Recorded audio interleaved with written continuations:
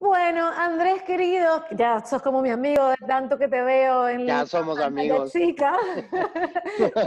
Bienvenido a Paraguay, aunque sea así, de forma online. Salud. Que fíjate que yo no lo platicamos, pero yo estuve en Paraguay hace ya muchos años, pero conozco un pedacito de Paraguay. Me encantó, me volvió loco, me volvió loco.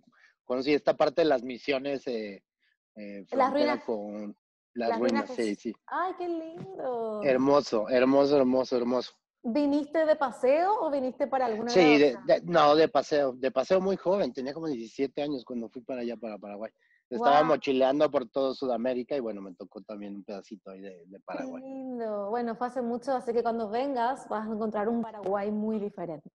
Me imagino que sí, Muy me diferente. imagino. Bueno, espero que no pase mucho tiempo. Yo también quiero volver pronto a México, pero ahora primero, porque Sí. realmente si empezamos a hablar, yo te voy a hablar de Camino a Marte, de solteras, de la serie, como, eh, ¿cómo era? Eh, 100 días para enamorarse, pero vamos Cien a días para hablar, enamorarse. sí, porque yo, yo la vi en la versión argentina. Claro. Pero vamos a hablar de amores modernos, si mi perrita me deja. bueno, Amores Modernos. Eh, Tuve el placer de poder ver esta película que tenía que estrenarse el 27 de marzo, ¿verdad? Tengo entendido en México. Así es, sí, pues ah, el, estreno obviamente sufrió, sufrió eh, el, inicio de esta pandemia que obviamente canceló ahorita eh, el acceso a los cines y demás.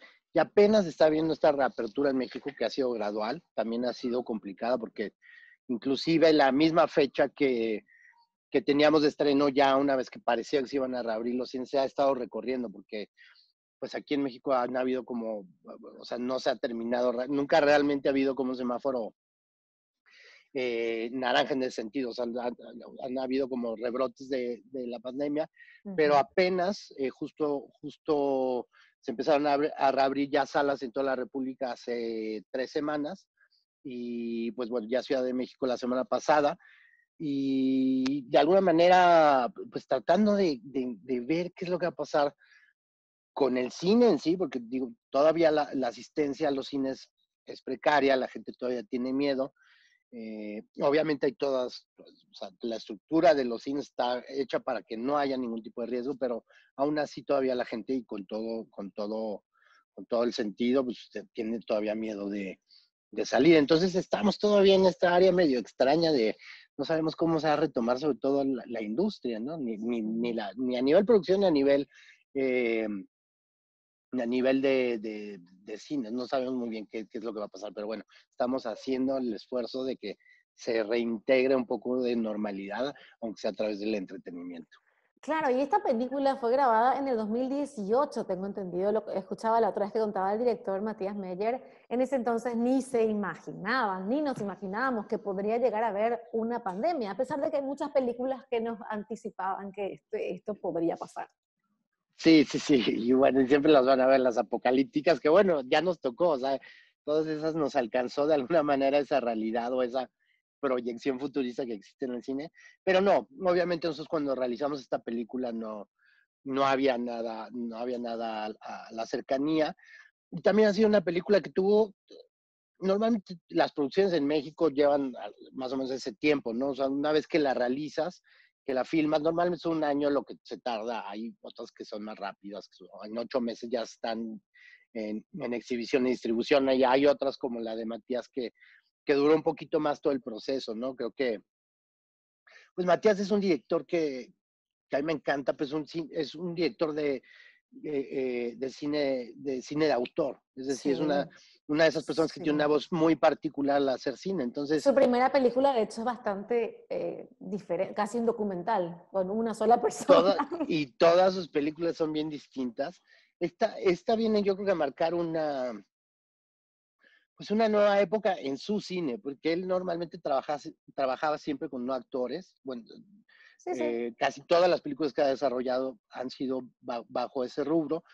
Y para esta película, inclusive antes de empezar a escribirla, él sabía que quería hacer un, un proyecto que involucrara trabajar con actores. Y se dio la tarea de hacer no una película de dos personajes, se hizo, se hizo una película coral con muchísimos personajes. ¿Y, y qué actores? Y que además, exacto, se dio la tarea de, involucrar a, pues bueno, al menos, al, habemos al menos cuatro ganadores del Ariel en la película. Me siento orgulloso de ser parte de ese, de, ese rubro. Ilse, Salas, Ludica. Ludica Paleta, Leonardo Ortiz Gris, Raúl Briones, David Angulo. Pues sí, son, son muchos personajes, inclusive hay personajes que ya no llegaron al corte. O sea, que sí ah, estaban en el guion y que además se filmaron sus historias, pero ya era como una, o sea, era como ya una cosa como muy grande. Hicieron yo creo que vienen a apretar la película y, la película se cuenta perfecto, se narra perfecto con los personajes que hay. Pero bueno, entonces se dio a la tarea de trabajar con actores eh, y creo que fue un proceso bien interesante en ese sentido porque hicimos mucho trabajo de mesa. Hicimos mucho trabajo previo a, llegar a filmar la, película y, inclusive en esos procesos eh, creo que hubo un, descubrimiento como muy natural de, un poco de la, de la del, del, mismo espíritu de la película. Matías eh, no creo que haya pensado en ningún momento que era una película que te podía generar risa, por ejemplo. Pero sí, hay momentos en que, y eso es lo que es increíble. Está, hicimos la primera, la primera lectura de, guion ya todos los personajes. Eh, la primera vez que leímos como el guion entero. Y e, en, esta reunión que hicimos, grabamos eh, con micrófonos un poco las intenciones y un poco ver cómo este primer proceso donde llevaba, eh, pues sí, tanto los tonos como los, los ritmos y demás. Y en esa primera instancia hubieron muchísimas risas muchísimas risas de todos. Y cuando terminamos me acuerdo que Matías estaba pálido, estaba como asustado. Pobrecito. Porque él, porque él no entendía de qué, pues, qué es lo que había primero generado la risa y le daba un poco de miedo también como de alguna manera entender que varias de las situaciones que él había escrito eh, generan ese, eh, eh, como ese fenómeno, que para nosotros no era fenómeno. Yo creo que todos, la primera vez que leímos el guion sabíamos que habían lugares de comedia increíbles. Una y que además, comedia. Y que, pero que además justamente no estaban tratados como comedia, sino que era más la situación misma la que te generaba como esta, como esta risa, como esta empatía también de los personajes, que creo que es algo como también muy noble de su escritura, ¿no? Que es algo que él ni siquiera percibía y hacía de algún, de un lugar muy honesto y de mucho corazón, generara eso. Entonces, fue padre también ese proceso porque él también fue entendiendo un poco la, misma naturaleza del proyecto y de cómo había que, atender ciertas escenas también a partir de, tener noción de esas tonalidades, ¿no? Y de esas, y de esos, eh, estas distintas maneras de, de, que cada actor también atacara cierta escena. Entonces, todo este trabajo previo nos ayudó mucho para que obviamente cuando llegáramos al, al set, creo que tuviéramos como muy claro, al menos eh, entre nosotros, entre Matías y nosotros los actores, como muy claros quiénes son los personajes y, cuáles son las situaciones que están viviendo. Claro. Eh, también, pues obviamente le dio muchísima seguridad, ¿no? Hacer todo este proceso previo, eh, llegar como con, con, mucha más solidez hacia la película y creo que el resultado se ve en pantalla, el resultado lo ves ahí en la película misma. Creo que tiene esa funcionalidad, o sea, los personajes son de carne y hueso, son personajes que con los que te puedes identificar, con los cuales generas empatía, rechazo, eh, no sé, te, pasan todas estas cosas como en la vida real, es lo que pasa cuando estás viendo la película. Claro, y decime, estabas hablando de que él suele, trabajar con no actores, que también escuché en una entrevista, pero él hay un gallo ahí que canta, me encanta. Pero él hizo... Sí, sí es, mi vecino que está aquí. Lo pongo, lo pongo para que me diga que cuando pasaron 10 minutos canta, sí.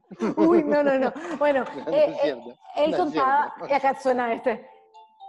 No, él, contaba que fue a un campamento, en realidad em, sí, fue como un campamento ah, que fue invitado de mm, dirección de actores y que ahí él pudo compartir con muchos de los actores. ¿También estuviste vos en ese campamento?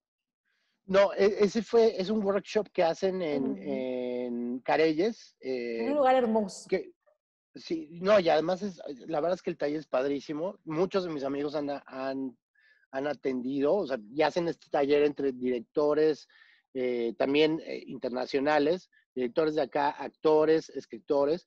Entonces a todos los ponen a hacer también, inclusive, o sea, los directores los ponen a actuar, a los actores a dirigir. Ya han salido cosas interesantísimas de, ese proyecto. Y creo que sí, fue, esa fue la primera vez como que él tuvo esta interacción como más cercana en ese, en ese sentido con actores. Y es raro porque, o sea, él y yo, por ejemplo, somos amigos ya de muchos años.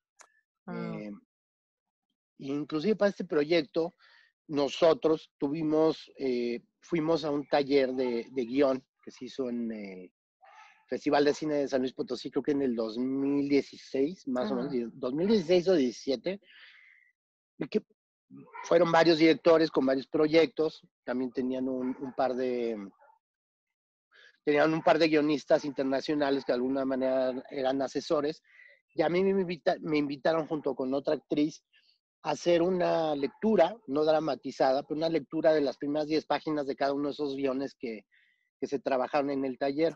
Uno de esos proyectos era Amores, Modernos. Mm. Leímos los primeros dos, las primeras 10 páginas de Amores Modernos. Y desde ahí hubo como algo también que, que, Matías cachó, que dijo que por aquí puede haber algo interesante. Y un par de meses después fue que me, me buscó ya para empezar a trabajar en, en este proyecto en particular. O sea, es un proyecto que, conozco bien desde su gestación y que estuve involucrado en, gran parte del proceso, ¿no? También en el proceso de, definir a los demás actores, porque a mí me tocó, al menos en los castings, hacer varios personajes, no nada más el de Carlos, ah, hice varios, mm, también para que él pudiera ver a otras personas. Claro. Entonces fue, fue muy padre en ese sentido, como hubo como un, un desarrollo muy colaborativo en ese sentido, en este proyecto en particular. Eh, y que además, pues, te digo, a mí desde un principio me encantó, me encantó el guion, me encantó la frescura y me encantó como, un poco el objeto, que no es subjetivo, creo que es un término mal empleado, pero un poco como ese espíritu, el espíritu de Matías inclusive de contar una historia que hable del amor, ¿no? De, de diferentes tipos de amor. Claro, que es una suerte de ensayo de sí posicionar al amor como como un objetivo, como un objeto dentro de tu narrativa y que eso sea el hilo conductor, se me hace interesantísimo y creo que lo logró de una manera muy, muy acertada, ¿no? Sí, y ese final es, es maravilloso. Yo la verdad que está, me quedé con ganas de más. Creo que tiene sí una duración fantástica, una hora y media, creo que dura la película. Te quedas con ganas, te quedas con ganas de más. Es como, ¿qué? Ahí ya se acabó. Y termina como un, como un clip, muy, muy, usa la música eh. también, tiene una banda sonora muy bonita. sí, la banda sonora y, y, por ejemplo, es, es, otra de las cosas que se me hace padre de él. O sea, él, él, tenía escenas, como la escena del, la escena del automóvil en el que Ludwig Paleta va manejando. Sí. Que él ya sabía que quería esa canción, inclusive ya, la, ya tenía los derechos de esa canción de Chromatics. O sea, la tenía como, como tres años antes de, realizar la película. Entonces, es padre también ese universo de repente de los directores, de cómo hay una parte musical en la cual pueden desarrollar un, gesto visual a partir de la musicalidad, ¿no? Entonces, tienen primero el, soundtrack y ya la escena se cuenta un poquito a partir de lo que, de esa atmósfera de la, de la música, ¿no? Eso es padre también. Totalmente. Y esta película lo tiene muy, muy, muy marcado, creo. Claro, y bueno, y vos, vos eh, también estás muy ligado a la música. ¿Verdad? ¿Te gusta mucho la música? ¿Estás ligado? Sí, no, yo, yo llevo toda mi vida también haciendo música, soy productor musical y he tenido mis bandas y demás. Y a mí me, me, encanta, siempre que tengo tiempo lo sigo haciendo. Ahora en este proyecto de Cindas para enamorarnos, pues tuve la, la oportunidad un en Miami, ¿verdad? Estuvieron grabando. En Miami. ¡Ah!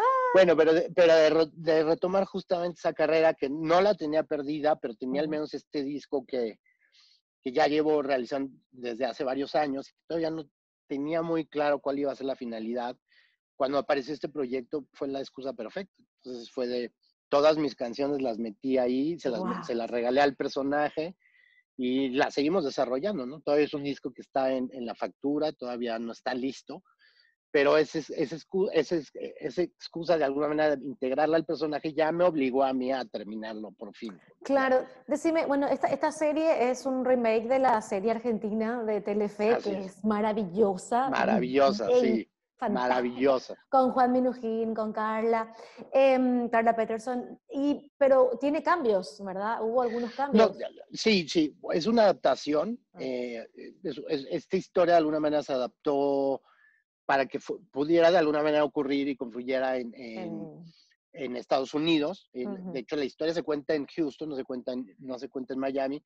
Entonces, obviamente, había que hacer una adaptación bastante grande, primera de idioma, primero de idioma, luego como eh, 100 días para enamorarnos en, en, Argentina tenía una virtud grandísima, que es que era un proyecto que iba evolucionando como muy, muy cercano al aire. Entonces, era un proyecto que te permitía de alguna manera involucrar. Todo lo que estaba pasando en el momento y de la sociedad, todo lo que pasaba, sí, sí. Y ese fue el gran eco, yo creo que tuvo a nivel de audiencia también. En este sentido, nosotros comenzamos con un proyecto que ya estaba de alguna manera consolidado, que, que tenía una formación y también por el formato en el que nosotros desarrollamos ya esta parte para, para Estados Unidos, no, obviamente no nos permite estar tan pegados al aire. O sea, nosotros tuvimos que construir esta historia, empezar a trabajar cinco meses antes de que saliera al aire, ¿no? La primera temporada. Pero sí tuvimos la fortuna de, de, de, de, tener a uno de los creadores, director de gran parte de, la, la, historia argentina, a, a, Mariano Ardanaz, fue ah. nuestro gran piloto allá en, en Miami. O sea, él, conociendo perfectamente la historia, conociendo perfectamente los personajes, también nos permitió a nosotros darles nuestra, nuestra perspectiva, nuestra frescura, obviamente nuestra mexicaneidad, porque hay que decirlo, el humor, el humor argentino es increíble porque ellos tienen precisión y tienen, pero también el nuestro es completamente ajeno. Entonces, obviamente, timoneados por él, que, que, sabía la estructura de la historia y cómo contarla, también nos permitió pues justamente integrarla a, una realidad completamente ajena de la Argentina, ¿no? Y hacer una cosa, si bien está basada en, la producción argentina, pues terminó siendo algo creo que yo bastante distinto en, el mundo latino de Estados Unidos. Totalmente. Mira, Andrés, yo seguiría hablando con vos porque podemos, te preguntaría sobre todas las películas que me vi donde vos estás, porque te digo que estás en todas las películas mexicanas, pero creo que tengo que respetar tus tiempos y ya nos fuimos de mambo con los 10 minutos. Entonces, no me queda más que agradecerte y bueno, eh, desearte éxitos. La peli ya está en las salas de cine de México. Ojalá tengamos, eh, yo ya vi la película, ojalá también eh, otras personas tengan la oportunidad de verla en Paraguay. Y también la serie, sé que es de Telemundo, ¿No sabes si va a llegar a, alguna plataforma? normalmente, normalmente va, o sea, normalmente los casi los proyectos de Telemundo viajan a, alguna plataforma o alguna, o alguna cadena local. Entonces, seguramente estará en, Paraguay en alguna de las plataformas o quizá en, en, en teleabierta. Lo que sí no sé es cuándo, seguramente primero todavía tiene que, que proyectarse la segunda temporada, que todavía no está al aire en Estados Unidos seguramente cuando eso suceda ya este, tendremos más claro. Y obviamente estaremos informando por nuestras redes este, todo lo que pase con los proyectos y cuando estén ahí para que lo puedan eh, disfrutar también por allá, por Paraguay. Totalmente. Y Amores Modernos, ojalá también la puedan ver pronto en Netflix o en Claro Video. Y a la gente le decimos que te pueden ver en Camino a Marte, que está en Netflix, Solteras, que está en Netflix, eh, La vida inmoral de una pareja ideal, que está en Netflix, ¿Cuál otra estaba? Tiempo compartido. Que Ay, Dios, esa película es terrible. Es a todo el mundo con esa película. Y bueno, hay varios, me pueden ver también en Narcos en Netflix, también en Amazon está Diablo Guardián. Sí. Eh, la serie de Diablo Guardián, y bueno, por, ahí hay por todos lados. En Claro Video también está ahorita una que acaba de, estrenar que se llama R. Cierto, una serie. Con, Mauricio Ogman, pues, también por ahí. Si buscan por ahí, por todos lados, por todas las plataformas aparezco. A Mauri lo conocimos también acá por el remake del clon, ¿verdad? Y porque lo queremos mucho Eugenio Herbés y bueno, por toda esa familia. Son, lindísimos todos. Son lindísimos, realmente. bueno, sí, yo lo quiero mucho Eugenio. Bueno, Andrés, un placer, espero verte en persona la próxima vez que viaje a México, si Dios quiere y la pandemia nos permite y mi bebé se ponga más grande. Es un placer, realmente. Un placer. Muchísimas gracias por la entrevista y saludos a todos por allá. Esperamos en Paraguay. Gracias. Muchas gracias. Chao.